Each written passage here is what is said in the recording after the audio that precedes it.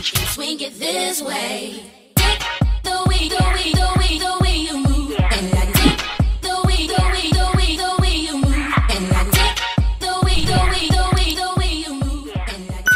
So what is up you guys, welcome back to my channel and if you're new here, my name is Bre Monét. In today's video we are going to be doing yet another Amazon wig but this time from Beauty Forever. This wig is in 18 inches, is Brazilian body wave and is also a fake scalp closure. So I will say this, I was playing around with it, so this is what it looks like right now after I was playing around with it, but I'm running my hands through it, there's no shedding. So the part where you see the material, that is where the fake scalp is. And then of course you have the three combs, one in the back and two on the sides. So without further ado, let's get into the video. So the first thing I'm going to do is just take my Nairobi hair mousse and I'm just going to put that on both sides and make sure I'm pushing my hair back so this way my hair can actually lay flat. So now all I'm doing is just taking out some hair so I could create some baby hair. And just a disclaimer, I ran out of storage when I was recording the first time so this is why the wig kind of looks like I already did stuff to it because I technically did. So I'm just basically doing the wig over again so you guys can actually see what I did. Now I'm just going to take my hot comb and I'm just going to push back my hair. And y'all, when you are using a hot comb, please be careful because I actually had a hot comb accident. I burnt myself really bad. If you're going to do it on your head, just really be careful because it was not a fun experience. Then I'm just going to take a pair of scissors and start cutting my baby hair.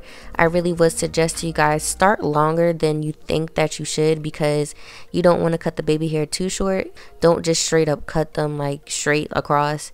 Um, your natural baby hair goes on an angle so you want to cut on an angle.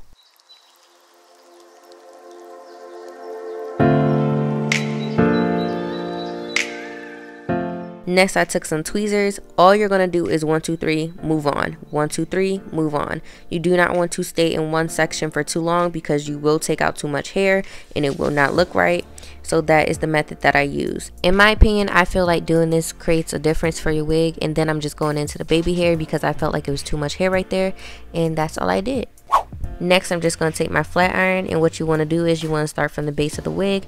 Make sure you are rolling forward and as you're rolling forward, take the piece of hair, flip it over and make sure you are holding that piece of hair in place as you are curling the hair. So don't just drop the curl, make sure you're actually rolling the flat iron all the way up. Hold it for 10 seconds and then you can let go. But make sure you're holding it in your hand and you're going to clip it. So this way it can cool down and can still keep that curl. And this is the curl that you should get. I'm just going to take some Got2b glue and I'm going to put that in a section where I'm going to put my wig down. And I'm also going to add some freeze spray on top of that just to ensure that my wig doesn't lift. So I know I look mad crazy picking it up like that, but you want to be extra careful when you're placing the wig down on the glue. Next, I'm just going to take my blow dryer to make sure everything is dry and nothing is going to lift because we do not want that. So I'm just going to make sure I'm switching from hot to cold um, every like five seconds. So I saw that I had some Got2b glue stuck in my baby hair, so I just used some water to reactivate the glue, and this way I could swoop my baby hair however I want to, and it actually really worked out for me. Next, I'm just going to take some concealer, and I'm just going to put in a T-shape. You guys are going to see what I'm talking about, but you're going to put it in your middle part, and you're going to put it in between the baby hair and your hairline. Okay guys, so all I did was just take my flexi rods out. I didn't show that part. So with a flexi rod, you just take a section of the hair like I'm to take just a random section and what I do is for the back pieces I flip them on the front just like so. You roll them up and then you cross them. Front pieces I actually put like I'm not to do it because then I'm to ruin it but I put it underneath. The only reason why I put it underneath is because I want like this swoop right here. But yeah this is the final product um, first of all, I feel really weird because of my new recording space. I changed my whole entire room around. I put the bed like in the corner and now I just kind of like looking at myself, I kind of feel weird because I'm not like near my vanity. I'm literally in the middle of my floor recording. For one, I was taking mad pictures and videos. Like I got so many DMs from you guys talking about some, oh my God, who did your sew-in? Like, nah, baby girl, this is a wig and she's really cute too. First of all, the hair is really soft. Um, I think the only thing that I was more um, on the fence about when I was first doing the wig is these little, I can't, I don't know if you guys can see, but it's like the lace piece that sticks up. You would definitely have to cover that with your baby hair or with like a swoop or something but putting some curls into her is definitely the move because she is definitely really really cute Oh, by the way, y'all, I also have some stuff I want to show you guys because I just got it. Because before I forget, I'm going to leave all her information um, in the description box down below because I thought this was so cute. It's like a self-defense package. So I have my guy sister right here, and then I have me. But the puff came with it, the lip gloss came with it, the lanyard came with it. Um, this is this right here is mine.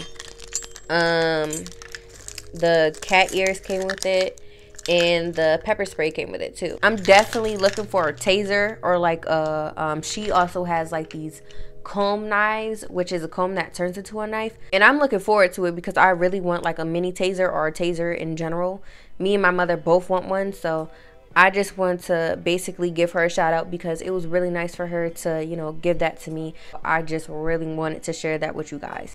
But anyway, back to the wig. The only thing that you cannot do with this wig is basically, you know, have this exposed. So you have to, you know, have something covering the sides. I think for beginners, if you're learning how to like customize um, wigs, this would be perfect for you because you're working with such a little section versus you buying a whole lace front and totally butchering it. So I kind of think that this is like beginner friendly. Before I went in and customized it, it wasn't that bad before the customization but um, it wasn't to my liking. Like it didn't give me like, oh, that's her scalp type vibes. It gave me like, no, sweetie, that's a wig. That's definitely a wig. I didn't want that. So, like I said before, if you guys need help on customizing your wigs, I could definitely do a separate video just on that, um, like how to pluck the wig. Um, I don't bleach my knot. I just kind of put foundation on my lace and I keep it pushing. Um, I never really had to bleach the knots. Especially with this, you don't have to bleach anything. It is a fake scalp.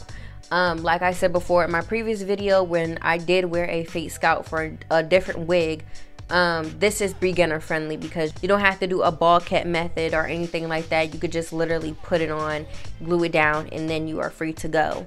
Um, one thing that I did see when I was curling my hair, um, I started seeing like, I don't know if it was just my wig or the case may be, but I started seeing like green strings and red strings in my hair and I don't know where it was from. Of course, I cut it out, but I was just like, where did that appear from? But I think the big plus for me was it was easy to curl. Me, I haven't curled a wig at all because I was scared. This actually came out really, really cute. And I've been wearing this since 8 in the morning. And that's when I was curling it and putting it on. And it is now maybe about 5 o'clock. And I've had it down since then and my curls are still up there. And it has nothing in it. I didn't put anything in the hair. This is just the hair itself. This is how long the hair is on me. I hope y'all can see this. Pull. so it's to my, almost to my back. It's like right here, y'all. I don't know if you can see that. Like right here. When I pull it, so when I straighten it, that's how long it's gonna be.